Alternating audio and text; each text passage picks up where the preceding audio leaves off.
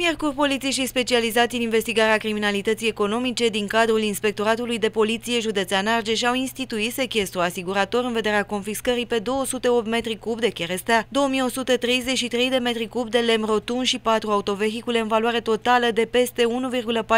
1,14 milioane lei. Activitățile au avut loc cu sprijinul inspectorilor silvici și s-au desfășurat într-un dosar penal în care se efectuează cercetări sub aspectul săvârșirii infracțiunilor de evaziune fiscală, spălare de bani, tăiere ilegală de arbori, abuz în serviciu și fals material în înscrisuri sub semnătură privată. În aceeași cauză, luna trecută, pe 17 noiembrie, polițiștii de investigare a criminalității economice din Argeș au efectuat șase percheziții la sediile unor societăți comerciale și domiciliile unor persoane fizice din județul Argeș. Cei vizați sunt bănuiți că în perioada 2008-2012 a fi tăiat ilegal aproximativ 30 de metri cub de material lemnos, beneficiind de sprijinul mai multor angajați din cadrul unor instituții, iar ulterior viitor ar fi transportat, prelucrat și comercializat importante cantități de material lemnos, fără a înregistra în contabilitate toate aceste operațiuni. Cercetările sunt continuate pentru documentarea întregii activități infracționale sub coordonarea parchetului de pe lângă Tribunalul Argeș.